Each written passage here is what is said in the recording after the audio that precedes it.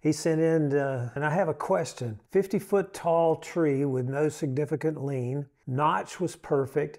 Back cut was way too high. Went down right where I wanted it with a back cut way too high. What could have happened? 70 degrees or more, your back cut can remain even because that hinge would hold a tree with straight grain. You could go up and down just about anywhere, you know, the level and you would have the hinge that you plan. You've got some taper as the tree grows. It starts running out towards the root structure. Here to right here on a, on a straight growth tree, uh, between one height and the next height, fiber is actually angled. If you, if you come up, it starts to compress that side lean starting to set over pretty close to the same level as your face notch compresses the amount of that kerf to split apart here first so that the tree can go forward my own opinion as level as possible good